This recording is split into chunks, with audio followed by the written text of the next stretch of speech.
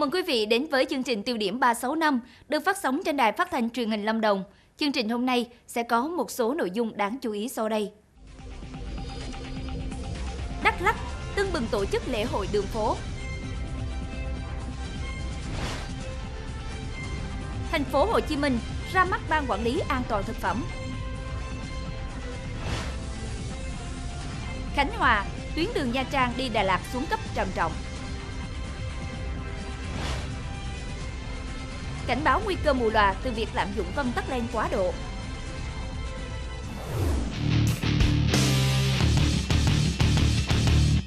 Trong khuôn khổ lễ hội cà phê Buôn Ma Thuột lần thứ 6 và Liên hoan văn hóa Cồng Chiên Tây Nguyên năm 2017, chiều ngày 10 tháng 3, tỉnh Đắk Lắk đã tổ chức lễ hội đường phố.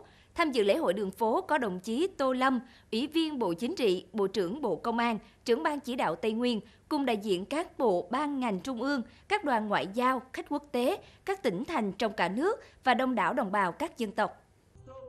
Lễ hội đường phố lần này có sự tham gia của hàng nghìn diễn viên, nghệ nhân, 15 đội chiên của các huyện, thị xã, thành phố thuộc các tỉnh Đắk Lắk, Gia Lai, Con Tum, Lâm Đồng, Đắk Nông, Quảng Nam, cùng 5 con voi, 15 xe hoa của 15 huyện, thị xã, thành phố Buôn Ma Thuột, diễu hành trên các tuyến phố lớn như Lê Duẩn, Nguyễn Tất Thành, Ngã Sáu, Quảng trường 10 tháng 3.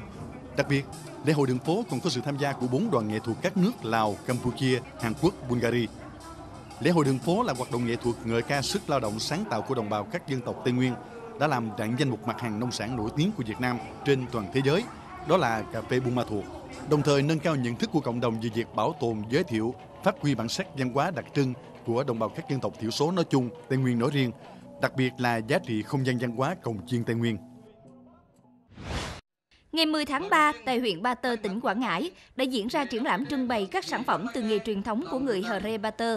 Triển lãm đã giới thiệu đến du khách những sản phẩm truyền thống của nghề may tre đan và dệt thổ cẩm như nông, nia, giỏ, rổ, gùi và áo, váy, khố, ví, vân vân.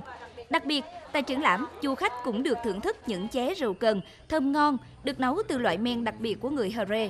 Triển lãm giúp các du khách hiểu hơn về truyền thống của dân tộc Hờ Rê, đồng thời cũng là dịp để bảo tồn và phát huy các giá trị văn hóa truyền thống.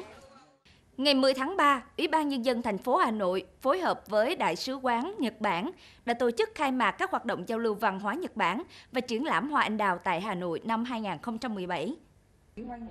Sự kiện giao lưu văn hóa Nhật Bản và triển lãm hoa anh đào tại Hà Nội góp phần tuyên truyền giới thiệu, quảng bá hình ảnh, nét đẹp văn hóa, đất nước và con người Nhật Bản đến với nhân dân thủ đô là dịp trao đổi kinh nghiệm và hợp tác trong lĩnh vực văn hóa, du lịch, kinh tế giữa thủ đô Hà Nội và Nhật Bản. Qua đó, tăng cường hơn nữa sự hiểu biết, tin cậy và thấm tình đoàn kết giữa nhân dân hai nước. Mặc dù đã xảy ra sự cố mất điện tại buổi lễ khai mạc, tuy nhiên người dân thủ đô vẫn rất hào hứng thưởng thức triển lãm khoảng 150 cây và 20.000 cành hoa anh đào. Nằm trong chuỗi sự kiện văn hóa, các hoạt động triển lãm ảnh, biểu diễn nghệ thuật truyền thống Nhật Bản Hà Nội cũng sẽ được tổ chức. Theo dự kiến, lễ hội hoa anh đào 2017 sẽ kéo dài đến hết ngày 12 tháng 3. Ngày 10 tháng 3, Ủy ban Nhân dân huyện đảo Cồn Cỏ, tỉnh Quảng Trị chính thức công bố đề án mở tuyến du lịch ra đảo Cồn Cỏ trong năm 2017. Trong thời gian qua, Ủy ban nhân dân huyện đảo Cồn Cỏ đã phối hợp với công ty cổ phần Tổng công ty thương mại Quảng Trị mở tuyến du lịch thử nghiệm đưa khách ra đảo Cồn Cỏ. Công tác tuyên truyền quảng bá giới thiệu về tour và hình ảnh tiềm năng lợi thế du lịch đảo Cồn Cỏ được triển khai tích cực, bước đầu đạt được yêu cầu đặt ra. Ờ, Cồn Cỏ không chỉ là có tiềm năng về về biển đảo, Cồn Cỏ là một cái chiến trường xưa, nơi à, có nhiều cái cái cái chiến công lịch sử à, ghi dấu những chiến công oanh liệt của quân nhân dân Cồn Cỏ trong chiến đấu bảo vệ Cồn Cỏ à, nói riêng và bảo vệ giới tuyến nói chung. Và Cồn Cỏ được hai lần Bác Hồ phong tặng dân hùng anh hùng đấy là những cái tiềm năng mà có thể còn có để phát huy trở thành một cái điểm du lịch vừa là hoài niệm, vừa là biển đảo.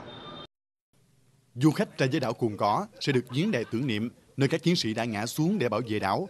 Đài quan sát Thái Văn A, hầm quân y, bến đò tiếp tế Cồn Cỏ ngoài ra còn có một số dịch vụ giải trí, các hoạt động thể thao dưới nước như bơi lặn, chèo thuyền, ngắm san hô. Du lịch ẩm thực thưởng thức các đặc sản biển miền Trung, du lịch sinh thái, câu cá, câu mực du lịch thể thao biển, nghiên cứu hải dương học, với các sản phẩm phong phú và hấp dẫn được cung cấp trực tiếp từ người dân trên đảo. Việc phát triển du lịch đảo Cồn Cỏ bảo đảm kết hợp phát triển kinh tế xã hội với xây dựng củng cố thế trận quốc phòng trên địa bàn một cách bền vững.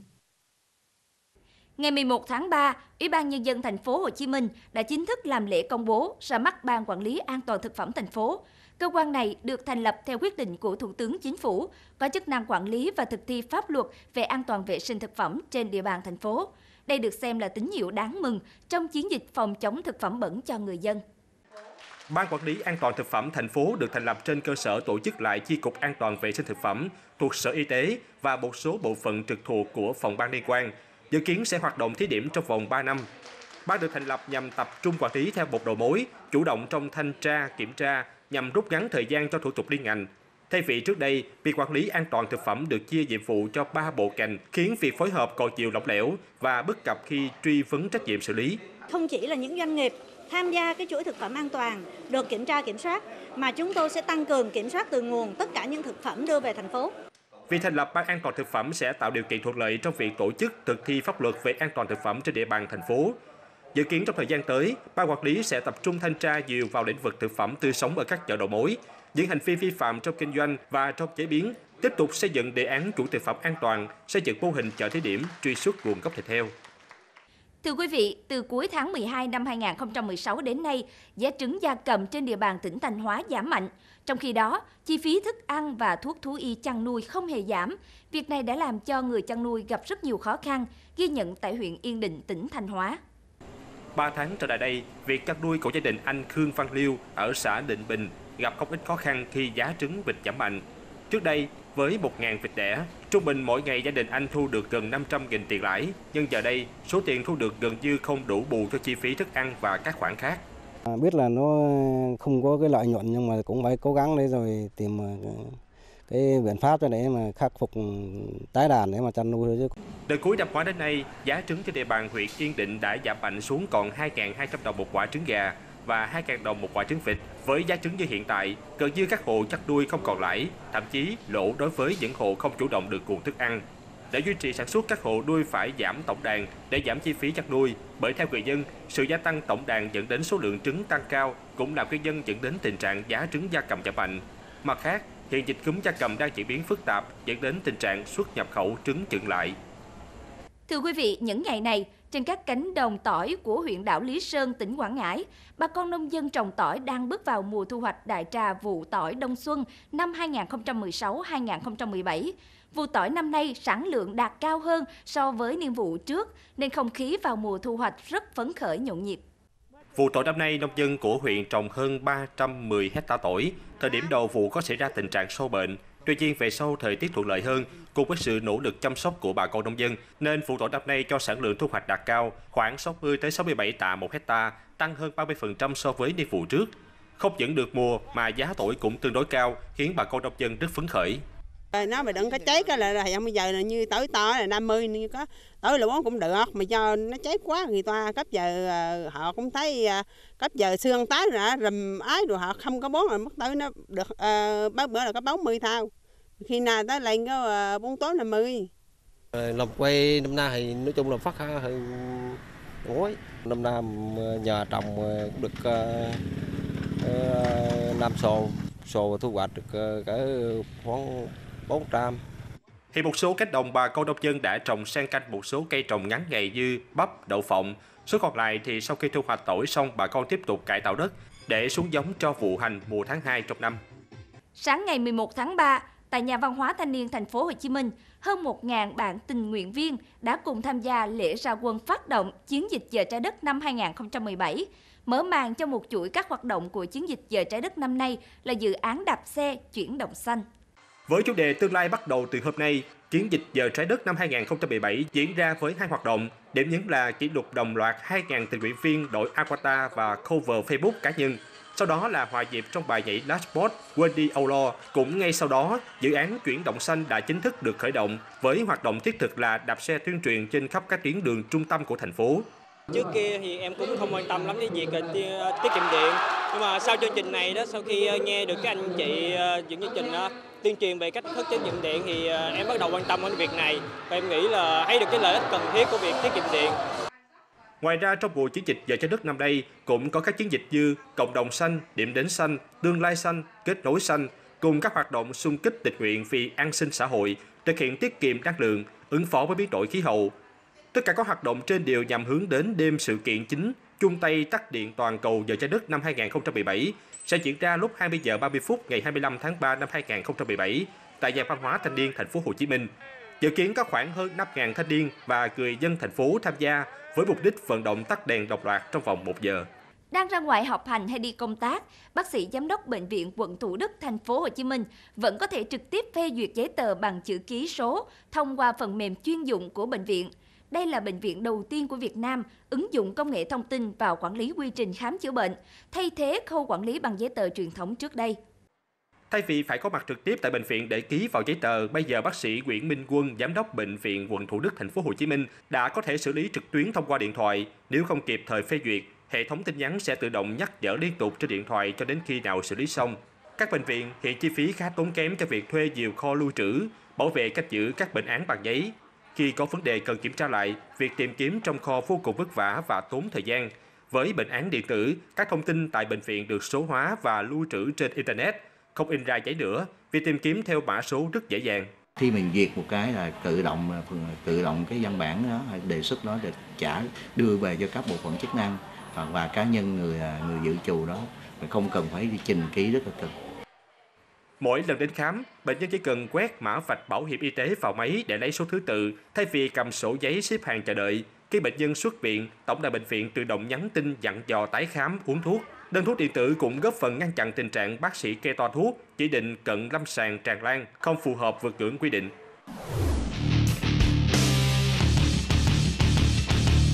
Tiếp theo là các thông tin an ninh trật tự và an toàn giao thông. Thưa quý vị, tuyến đường từ Nha Trang đi Đà Lạt được đưa vào sử dụng từ nhiều năm nay, góp phần phát triển du lịch và kinh tế giữa hai tỉnh Khánh Hòa và Lâm Đồng. Tuy nhiên, từ gần một năm nay, tuyến đường này đã bị xuống cấp trầm trọng bởi các xe tải chở đất chạy liên tục ngày đêm. Từ khi bị biến thành con đường vận chuyển đất đá cho các mỏ khai thác với hàng trăm xe tải chạy quần quật bất kể ngày đêm, thì bộ mặt tuyến đường này đã bị biến dạng nham nhở gần một năm nay. Các ổ gà, ổ vôi xuất hiện dày đặc loang lỗ trên mặt đường, nhiều đoạn bị bong tróc cả mặt nhựa tạo nên những hố sâu gây mất an toàn đến các phương tiện lưu thông. Người đi xe máy luôn cảm thấy bất an do phải tránh né liên tục các ổ gà trên đường. Từ một tuyến đường đẹp được du khách ưa thích, nay đã biến thành một lộ trình đầy bất trắc. Tình trạng trên đã kéo dài từ gần một năm nay và cho dù đã nhiều lần được ngành chức năng địa phương tu sửa, lắp vá, nhưng cũng như muối bỏ biển, các ổ gà, ổ vôi mới thay nhau xuất hiện. Trước kỳ các ngành chức năng cần có giải pháp cứng rắn hơn để khắc phục tình trạng trên. Khoảng 13 giờ 15 phút ngày 10 tháng 3, trên quốc lộ 51 đoạn thuộc xã An Hòa, thành phố Biên Hòa, tỉnh Đồng Nai, đã xảy ra một vụ tai nạn giao thông nghiêm trọng. Hậu quả là nạn nhân Nguyễn Đông Anh, 33 tuổi, quê huyện Thanh Chương, tỉnh Nghệ An, đi xe máy, bị xe tải cán tử vong tại chỗ. Theo đó, vào thời điểm trên, anh Anh điều khiển xe máy biển số 60C1 48259 lưu thông trên quốc lộ 51 hướng từ ngã tư Vũng Tàu về Biên Hòa, Đồng Nai. Khi đến đoạn đường trên thì xảy ra va chạm với xe tải mang biển số 51C 74068, chưa rõ tài xế điều khiển, lưu thông chạy cùng chiều. Hậu quả khiến anh Anh ngã xuống đường và bị xe tải cán qua người tử vong tại chỗ. Vụ tai nạn khiến giao thông ùn tắc qua khu vực này hơn một giờ đồng hồ. Hiện nguyên nhân vụ tai nạn đang được điều tra làm rõ. Vào khoảng 19 giờ 30 tối ngày 10 tháng 3, trên quốc lộ 1, phường Bình Chiểu, quận Thủ Đức, thành phố Hồ Chí Minh, một xe container chở nhiều máy cán tôn trên đường thì bỗng bị đứt dây. Hai máy nặng cả chục tấn rơi trúng đầu một xe container khác chạy theo chiều ngược lại, khiến tài xế mắc kẹt trong cabin. Vào thời gian trên, xe container mang biển kiểm soát 51E01749 chở nhiều máy cán tôn lưu thông theo hướng từ Bình Dương về thành phố Hồ Chí Minh. Khi xe lưu thông vừa tới chân cầu vượt Sống Thần thì tài xế bất ngờ cho xe thắng gấp. Do xe chở nhiều máy cán tôn với tải trọng rất lớn khiến hai máy ở phía sau bị đứt dây. Đúng lúc này xe container mang biển kiểm soát 51C54544 đang lưu thông ôm cua để về Bình Dương chạy tới khiến máy cán tôn rơi trúng đầu xe. Do máy cán tôn nặng đã đè vào trúng bên ghế tài xế ngồi, tài xế mắc kẹt trong cabin. Ngay sau đó, người dân đã giải cứu tài xế đưa ra ngoài trong tình trạng bị gãy chân. Đến hơn 20 giờ cùng ngày, hiện trường vụ tai nạn vẫn chưa được giải quyết. Tối ngày 10 tháng 3, một tổ chức tuần tra thuộc Phòng Cảnh sát Giao thông Công an tỉnh Bình Dương đã bắt giữ một xe ô tô đang vận chuyển hơn 12.000 bao thuốc lá điếu ngoại đang được vận chuyển lậu vào địa bàn tỉnh Bình Dương. Khoảng 21 giờ ngày 10 tháng 3, khi đang tuần tra trên tuyến quốc lộ 13, một tổ tuần tra thuộc Phòng Cảnh sát Giao thông Công an tỉnh Bình Dương phát hiện xe ô tô Innova mang biển số 51F42972 lưu thông hướng từ thành phố Thủ Dầu Một về thành phố Hồ Chí Minh có dấu hiệu nghi vấn nên ra tín hiệu dừng xe để kiểm tra. Lúc này tài xế không chấp hành mà tăng ga bỏ chạy. Ngay lập tức, tổ tuần tra tiến hành truy đuổi khoảng gần 5 km. Khi đến ngã tư giao nhau giữa quốc lộ 13 và đường 22 tháng 12 thuộc phường Thuận Giao, thị xã Thuận An, thì ép được chiếc xe nói trên. Tài xế xe Innova đã tung cửa bỏ chạy bộ trốn thoát. Qua kiểm tra, tổ tuần tra phát hiện bên trong xe cất giấu 12.400 bao thuốc lá điếu ngoại nhập lậu. Tổ tuần tra đã lập biên bản tạm giữ phương tiện và số thuốc lá lậu nói trên. Sau đó bàn giao cho đội cảnh sát kinh tế, công an thị xã Thuận An xử lý theo quy định của pháp luật.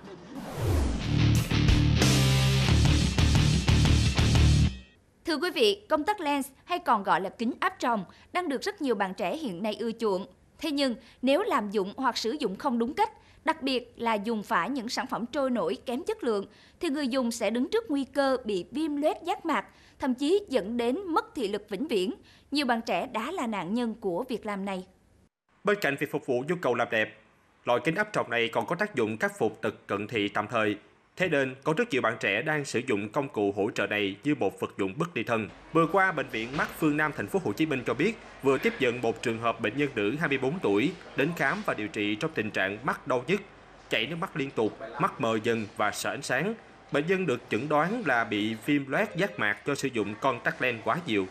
Ờ, khi mình đeo contact lens thì nguy cơ nhiễm trùng ở mắt tăng lên. À, nó có thể gây cho mắt bị viêm kết mạc, đặc biệt là viêm đáy giác mạc. Thì à, khi bị như vậy thì mắt sẽ sưng đỏ, đau nhức, à, nhìn mờ, giảm thị lực. Có một số trường hợp mà giảm thị lực à, trầm trọng vĩnh viễn và có thể dẫn tới mù loà. Chưa tính đến việc lạm dụng contact lens quá nhiều, vấn đề sử dụng phải những sản phẩm contact lens kém chất lượng cũng là một mối đe dọa rất lớn đối với người tiêu dùng. Hiện nay, contact lens được bán rất nhiều trên thị trường. Người dùng có thể dễ dàng mua được nhưng chất lượng và nguồn gốc các loại kính này thường không rõ ràng dễ gây hại cho mắt. Các chuyên gia cũng cảnh báo người dùng tuyệt đối không được rửa kính áp tròng dưới nước máy bởi có thể bị dính phải amid, một loại ký sinh trùng chuyên ăn mòn giác mạc và lớp ngoài cùng của chản mạc. Người dân cũng phải đảm bảo vệ sinh dụng cụ và rửa tay sạch trước khi sử dụng kính. Khi mắt có biểu hiện khác thường như đau nhức, chảy nước mắt, suy giảm thị lực, cần lập tức đến các cơ sở y tế để thăm khám và điều trị. Đến đây thì thời lượng dành cho chương trình cũng đã hết. Cảm ơn quý vị và các bạn đã quan tâm theo dõi. Chương trình tiêu điểm 365 được phát sóng trên đài phát thanh truyền hình Lâm Đồng. Xin kính chào và hẹn gặp lại.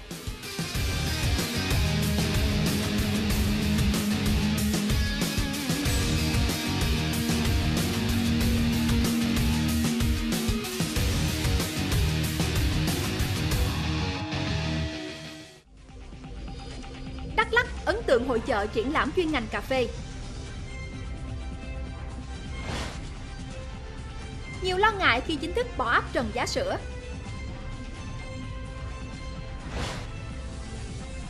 Thành phố Hồ Chí Minh cháy sân khấu tại lễ ra mắt phim con School Island. Phải làm gì để giữ vỉa hè cho người đi bộ ở Đà Lạt?